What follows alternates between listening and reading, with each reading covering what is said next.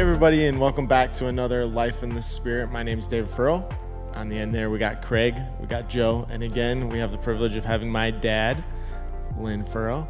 And, uh, you know, last week we did things a little different, talking about the difference between life in the Spirit, life in the Word, you know, making sure that we're on point, that we are not our primary focus, I mean, it is a primary focus, but making sure our foundation is built on the Word. And then on top of that, a building brick is life in the Spirit as well. And so one of the things that we didn't get into was the Mount of Transfiguration in uh, Second Peter. And so I say we just dive right into that and uh, go from there. I think your analogy of our our faith and our practices are built upon the Word, and so uh, you know God has a life for us to live, and it is a spirit-filled, spirit-led, spirit-formed life, and so um, everything that we do, everything that we say, that we say is an expression of Christ's life, a life in Christ, is, is to come out and be informed by that which is written in the Word of God. And I want to go to a passage of Scripture in 2 Peter chapter 1, and I encourage you to maybe read and study this passage of Scripture. And I'm not going to read it all because it's a lengthy passage, but in verse 16 through 21 of chapter 1 of 2 Peter.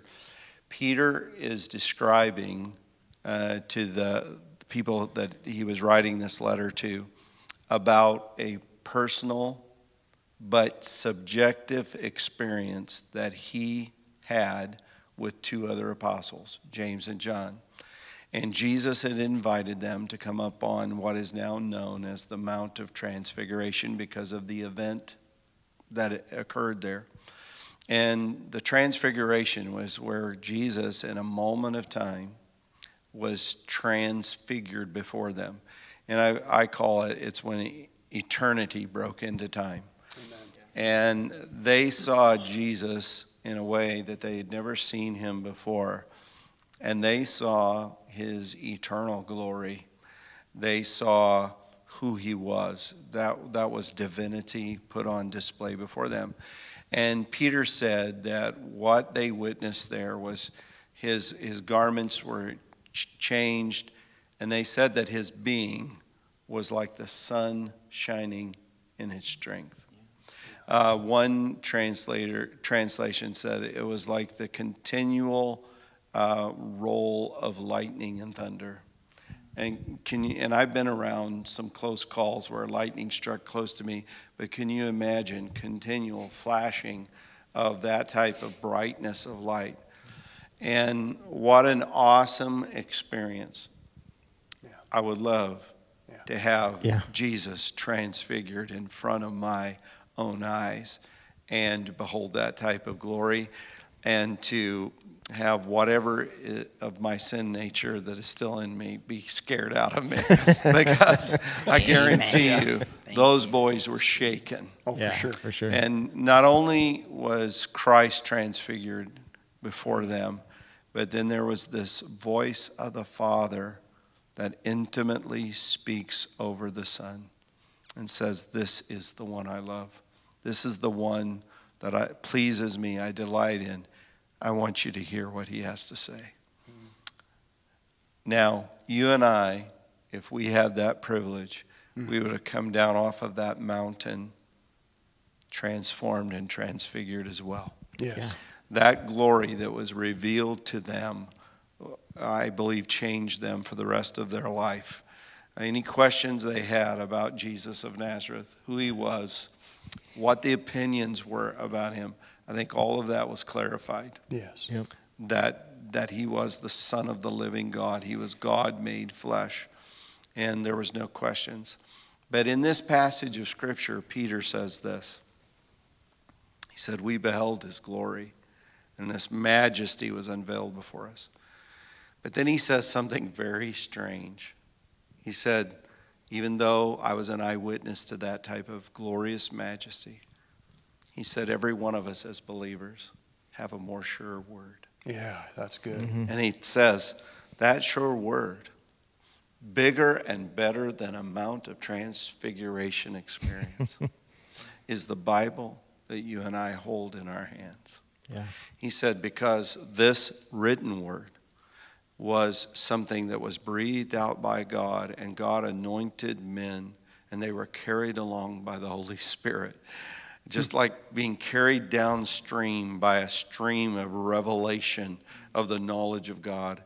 And they pinned forth various location, various men, uh, various occupations over a 1500 year period.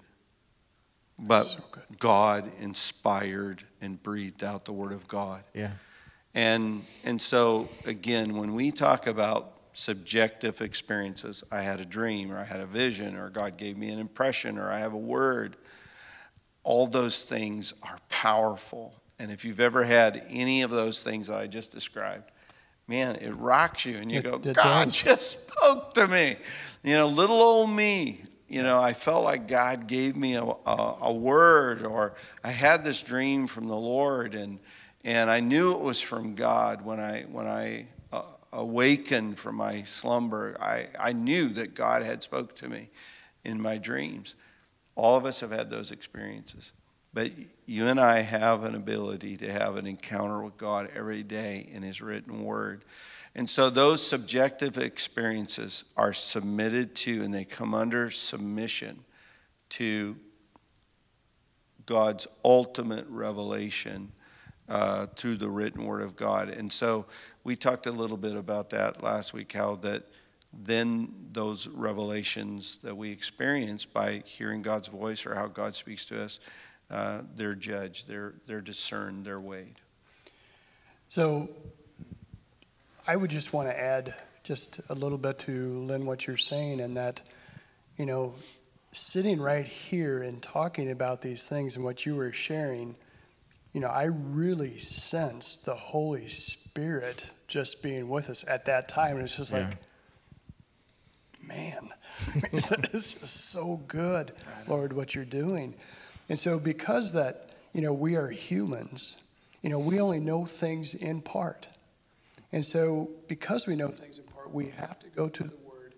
We have to go, you know, into, you know, First Corinthians where it talks about those prophetic things being judged. Mm-hmm. And we, we do that. I mean, we have a prophetic roundtable that we have, and there's words and dreams and visions that are brought before the roundtable. and there's between 14 and maybe 18 that come to the roundtable.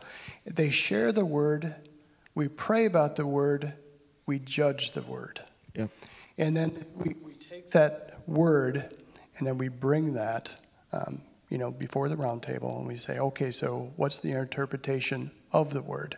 So, Lynn, I just really appreciate all um, that you're sharing with us today because uh, even though um, we can see how the Father, the Son, and the Holy Spirit are doing a thing separate but together mm-hmm. in everything that we do because we're just mere men. Yep. And we're just trying to get things right. And the only way we can get things right is going, you know, to God. Yeah. I think my prayer lately has been, Lord, don't let me mess this up, what you're doing. Because I don't want to get Yeah. in the way of what God is doing. And I think so often, it, as human beings, we can let pride get in the way or our own thoughts get in the way of what the Lord is doing and moving in this area. And I just, I don't want to be in the way. Like, remove me if you have to, God. Do whatever you want to. But um, even going along with what Lynn was talking about, like this mountaintop experience of the transfiguration and how Yeah. awesome that would be.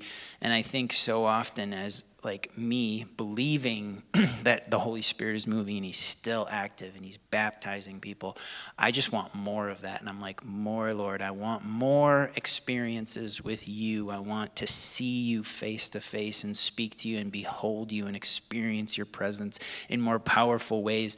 And I think what he says is we have what is the words better we have a better word. We word have a more sure word a more sure word. And it's like, man, do I long for the word of God like I long for an Yeah. experience in the spirit? And I think that should be our heart's cry is, Lord, I want your word. I need your word. need your I word. must Yeah. have more of your word. Give me more revelation of your word. Um, and and so many times I feel like the charismatic side of it, we cry out for experiences, which are great and awesome and needed. I feel like needed in the body of Christ. Mm-hmm. But are we crying out for more of the word of God in our lives, or are we just crying out for these mountaintop experiences? Go ahead. Can I add this? I think what makes it a more the word, the written word of God, a more sure word, is because Peter, James, and John. If you ask and interviewed each one of them and said, "What was your experience?" Each of them would have experienced something in a different way. That's true. Yep. They would have only one of them would have seen one thing that really focused, and we know that Elijah and Moses also appeared. So maybe one of them focused on the robe that Elijah was wearing, you know? Yeah. Another one was looking at the beard of Moses, and I'm trying to be a little humorous there. Um, their ability to comprehend what was happening would have been a different experience to each one of them.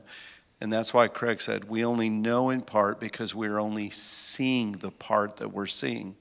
The reason why the Word of God is a more sure word is because it reveals the whole counsel of Amen. God, what God has revealed about Himself in open disclosure. So it's not based upon my capacity to comprehend it. It's not uh, based upon, because at these round tables, we don't necessarily have the full interpretation right. or the application. How do we obey this? So many times when we're sharing these things, we just say, I, I felt like this is what God was saying, but I submit this to you because as you pray into it, as you discern it, maybe there's something that I heard or I saw or I perceived that I'm missing, even though I'm the one that felt it. Yeah. And it's amazing how sometimes these things blossom because we're, we, we, we, again, we have received it and, and, you know, we're trying to communicate what we've heard, but then God will, will multiply that as it's submitted to other people and praying into it. And it's a beautiful thing. It is. And so then it's like, man, that's a, that, that is a way in which God wants us to obey this. Or that's a great application. Or I never thought of that in interpreting it that way. Uh, because that's essential in, in having words judged. Yeah. Yeah, it's very good. Like even at our last round table, we were talking. Somebody submitted a dream, and somebody submitted a prophetic word, and it was almost like everything tied together. Yep. And it was like one person, Craig had something about digging deep in the moles, and then somebody else had something about the side door being blown out, and we're like, whoa! And it was almost like there was just this unity in the room that it was like this is what the holy spirit is saying through this dream and through this word and there was such unity in with 14 people in a room yeah. and you would think 14 people you get 14 different uh, ideas 14 different interpretations of a dream but we were all all one and it was one. all like added together and piece Yeah. by piece you know you had a part you had a part you had a part and it was Mm-hmm. just incredible to watch the unity that happened in the room. And we talked about these dreams and prophetic words for about two and a half hours. And at the end of two and a half hours, we were like, we just want to worship Jesus right now Yeah, because the presence of the Lord was with us. Yeah. And I think going back to the Mount of Transfiguration, I mean, talking about they have a sure word, but, you know, think of those three disciples up there. You know, the Lord could be showing the same thing, but your revelation from each person can be different. I mean, That's true. so many times, you know, someone's giving a sermon and someone's like, oh, this is what I got out of that. And you're like, I didn't get that at all, but this is what hit me. Yeah. And think about their conversations those disciples had of the Lord was just downloading this to me during that. And they're like, well, this is what I got. Did you see it? Yeah. And then the next one. And then they put it all together. And they're like, whoa, whoa. Yeah. I mean, but at the same time, again, we have a more sure word in the word. Well, I think that that's part of it, David, is that you know, some people would think that the prophetic is the end game. Yeah. It's it's not the end game, but it's a part of. Mm-hmm. And those are the things that you know we want to make sure that as we're speaking that it's just a part of. Mm-hmm. It's not separate from. Yep. A- Absolutely. That's great. Yeah. And I think, you know, people, you know, try to, like, say the book of Revelation, try to interpret th- this prophetic book. And it's instead of focusing so much on that prophetic book, focus on the Lord. Don't you don't need to be thinking, okay, I'm this is what I'm computing that in a hundred years the Lord's coming back. Focus on the Lord. It doesn't matter when he comes back. If you're focusing on the Lord, you're aligned correctly. You'll you don't need to be worried about anything else. And uh, so, you know, we love the prophetic. I love getting prophetic words, but after I get a prophetic word, you know, where are we going? Be like, okay, does this line up with the Word of God? Now, what's my application based on the Word of God? And um, it's just crucial. And that's one of the things that we talk about the warring on yeah, the word. on the Word. Yeah. because it's it's breaking those things down and those barriers down and those mindsets down that we have preconceived in our minds Yep. because in some areas of our mind you know we don't allow god to be or be full in Mm-hmm. us and so we have to take those words that are given and bring them forth because we don't understand it all Yeah. Can I share something um, and add to the conversation here? God wants that which is holy, and holy simply means something that He has separated unto Himself for a unique purpose, that we treat it with honor amen and that we treat it with appropriate value, and we call it that which is sacred. And we can become so familiar with each other and our lives and, and our spiritual lives together. And if I'm not careful, I can commit what I call the sin of familiarity, and I can discount the valuable grace that is working in the body of Christ. Yeah. And so, just as we're called to esteem leaders and hold them into high standing, I also have to discern the body and I have to value uh, the deposit, the grace of Christ in each and every member of the body. And God wants to use people in different ways through their spiritual gifts. And, and part of that gifting expression is, is God speaking through his people. And so, in the life of the Spirit, as we discuss these words, we want to war by them, we want to obey them. It is simply us esteeming and valuing words that have come from God's heart. amen I would, just as I value my Bible, and, you know, I pray every time I read this, let your Son be revealed to me amen through the pages of this written word. I also know that my brothers and my sisters could be carrying the heart of God for me in a certain situation. And if I don't honor them, I'm not honoring what's in them. And this is a warning that Paul gave the believers at Thessalonica. He said, Do not despise prophecy. How do you end up despising prophecy?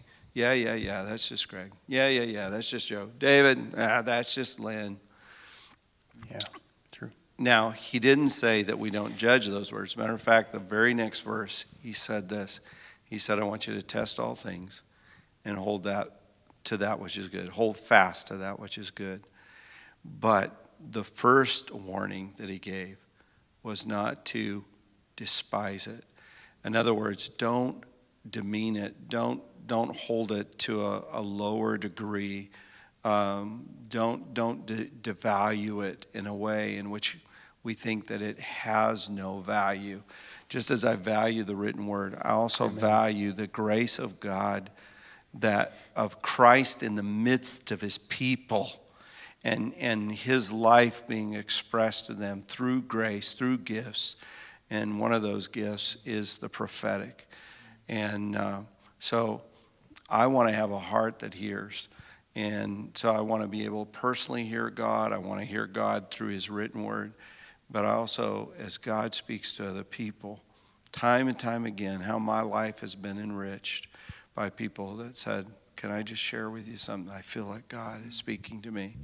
And when I walked away from that moment, it was like, I so desperately needed to hear that. Amen. Because I couldn't hear the Lord for myself because of my circumstance, God dropped a word in their heart, and it was an encouragement for me that I desperately needed, but I couldn't hear it because I was blinded by my circumstance in a dark moment. But God used brothers and sisters to encourage me and lift me up. And that's really, you know, the prophetic is about the revelation of, of God and His nature and His goodness and His power and His grace to our life Amen. to where we experience more of Him. Yep. It's so good.